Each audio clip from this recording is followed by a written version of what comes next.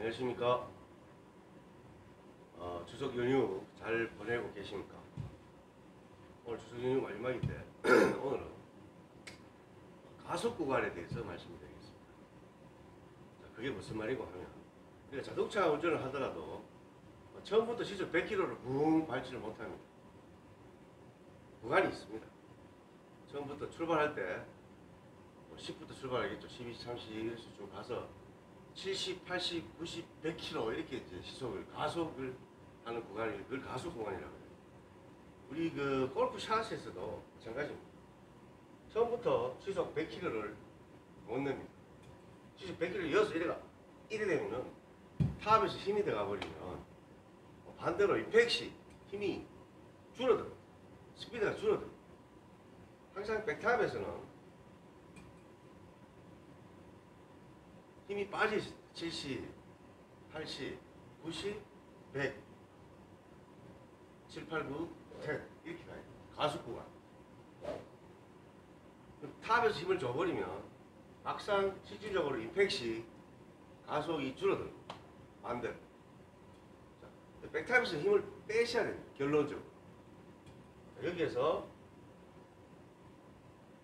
7, 8, 9, 10 이렇게 들어가죠. 시범을 보여드리겠습니다. 자, 배는 이렇게 밀고 7, 8, 9, 10 이런 느낌으로 돼요. 자, 7, 8, 9, 10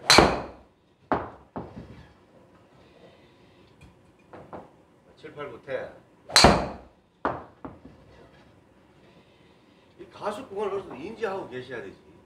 이 가속 구간을 어, 인지를 하지 못하면 스윙 리듬에 리듬을 잡기 상당히 힘듭니다.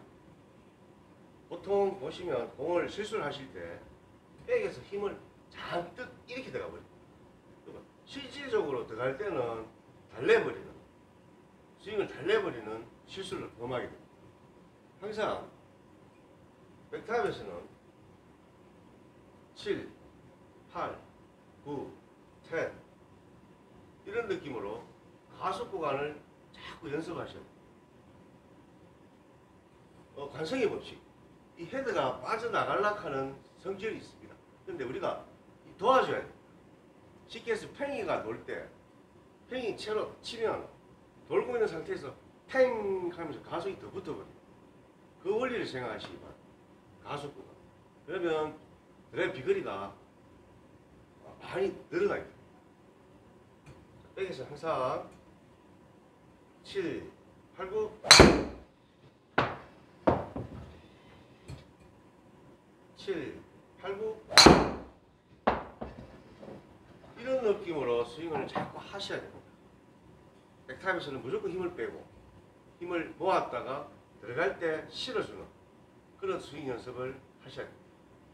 여기서 막 세게 칠 거라고 탑에서 힘을 줘버리면 반대로 실수를 하고 스윙도 무너집니다. 자 정리를 하면 백탑에서는 항상 힘을 뺏는 상태 7. 이 클럽이 하늘로 날아갈 듯 이런 느낌 7. 그러고 들어가셔야 됩니다. 자 백탑에서 하늘로 날아갈 때 7, 8, 9